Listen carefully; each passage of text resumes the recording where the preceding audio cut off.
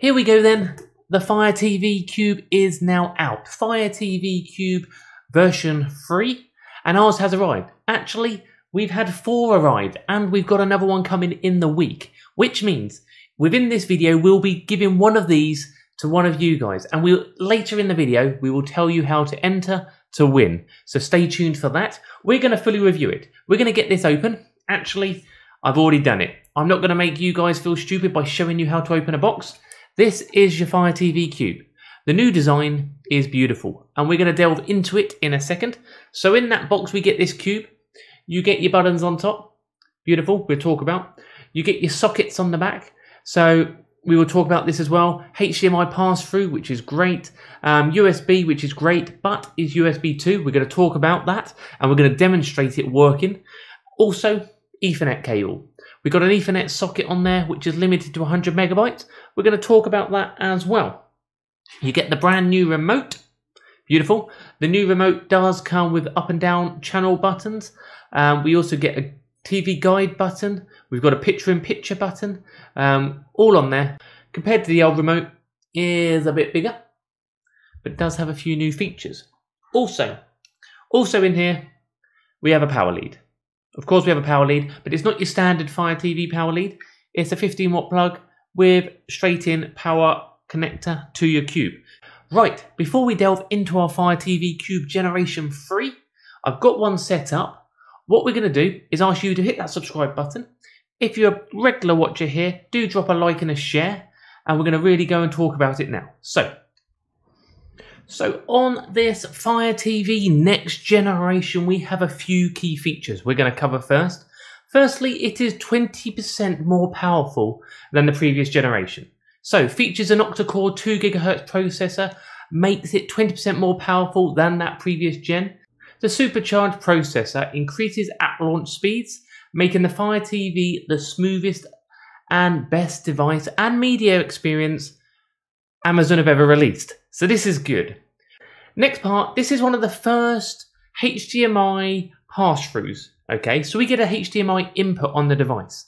You can plug in your Skybox. This is brilliant touch. You can plug in your Xbox. You can plug in another media player into your Xbox and you can activate it while on your cube. I'm going to show you in two seconds. We've got Wi-Fi 6E support plus a built-in Ethernet port. Right, let's get straight on about the Ethernet port. These devices aren't built specifically to be wired in, okay?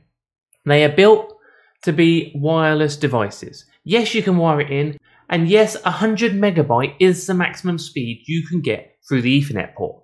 But that is plenty to stream on, okay? Many people have a lot less than that. Most people, even with more than that, don't always get that high speed because of bandwidth, anything like that. 100 is fine. But these devices are designed to be put around your house wirelessly to get a great streaming experience. Okay, so let's kind of that's why they kind of cheap out on the Ethernet port. It is there if you want to do it, and yes, you get a better um, Ethernet and connection, but Wi-Fi 6E is top notch. Wi-Fi 6 is top notch, and I have been running Fire TV and Fire streaming devices wirelessly for years. Okay. Hands-free voice cinematic experience, so you can control all your stuff with your Alexa, which is built in. Um, for your 4K Ultra HD, you control the lot. Another key touch super resolution upscaling provides enhanced picture quality by converting HD content into 4K content. Okay, so you do not get that on previous gens, but it may come on a future update. Okay, and obviously you get your endless entertainment. So, enough of the stats. Let's look at the normal stuff. Okay, we have it here. We have your streaming device. Um, standardly, your settings, everything is pretty much the same as you would get on your normal Fire TV device. What is great is here. It has its own built-in media player. So this is awesome for playing your own media. It's nothing better than awesome. A great touch, a great piece of technology, and hella useful, I'd say. I don't even know what I said there. I ran out of words. It's so useful. We're going to show you a media player in a minute. And HDMI is for your HDMI pass-through. So watch this. Okay, we have now switched onto my Xbox. Okay, so we're now on your Xbox. Let me just get some control there. So we're on my Xbox instead. And you can just push your home button and you're back on your Fire Stick. Yeah, cool. This is what I'm demonstrating with. This could be your Sky TV, this could be your PlayStation, whatever you plug in. Okay. What you can go is Alexa, change to HDMI. Okay. Okay, okay. Alexa, switch back to Fire TV. Yeah, so you could do that with whatever, and that is brilliant. What a touch that is. Next up, media. Okay, so a lot of people have complained about the USB port um, being a USB 2.0. A USB 2.0 will transfer data about 400 megabytes per second fast. Okay, so what I've done, this file here is stored on a USB drive. Okay, 2.0. It's not a 3.0, which, yes, of course we wanted it, but did we need it? Not really. This is a video playback of a 4K content, okay? It's only a short clip, and we can click it, and it will happily play crystal clear picture 4K from the USB, and quick. There is no lagging, there is no freeze, that is a 4K picture for you, straight off of the USB device. That's not stored on the device, that's stored on the USB device, okay? It is more than fast enough to play your media, USB 2.0. Again, we say to save cost. To save cost, they would put in a USB 2. They don't really need to put a USB 3 in it. USB 3 is very good for transferring media. So if you wanted to move something from your PC to a hard drive, USB 3 is brilliant. But to plug in an external hard drive and play some movies, some music on your Fire TV Cube, you don't really need a USB 3. Again, these are my opinions. So, apart from that, yes, we've got the upscaling, the fluid and the speed the device is moving is very quick. If you want to win one of these, if you want to win one of these, comment down below which streaming device you are using. Okay? Let us know in the comments which streaming device you are currently using, and we will pick one of those comments to give back to you guys one of these, okay? So, the all new Fire TV Cube is coming in at $139.99 in the UK. So, this puts this at Amazon's most expensive product, but still about £60 cheaper than a Nvidia Shield, maybe £40 cheaper than Nvidia Shield. They have come down in price recently, um, their latest version. If I was going to buy one, a Nvidia Shield Pro or a Fire TV Cube, third generation, I would buy the third generation. But it is a lot of money. The difference here is Amazon's own mistake a little bit is their top end products are so good.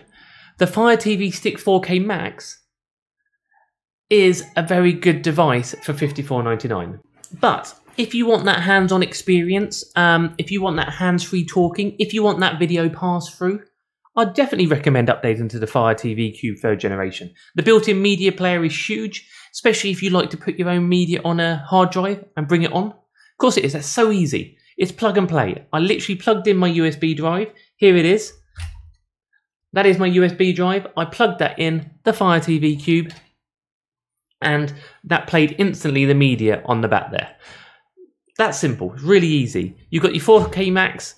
Um, all these Fire Sticks should be treated almost separately to the Fire TV Cube. Again, I think it's a little bit expensive. Um, personally, I think it may come down. But if you don't mind spending a little bit of money on your streaming device, I would take this. I said that the 4K Max would be the best streaming device of 2023. And I don't really back away from that too much because price compared to what you get is great. But that is for streaming alone.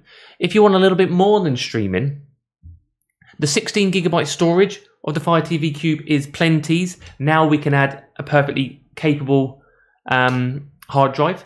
Okay, easy plug and play hard drive. Two gigabyte of RAM is more than enough for streaming only. Yes, things like the Nvidia Shield have a bit more RAM, but that's because they're for gaming as well. RAM is used for doing multiple things at once. Okay, RAM on a device is for multiple things at once. So on your streaming device, you stream. You don't do multiple things at once. This is why 2 gig of RAM is plenties. Even the 1 gig of RAM on some of these smaller devices is plenties. Okay, 2 gig of RAM is plenties.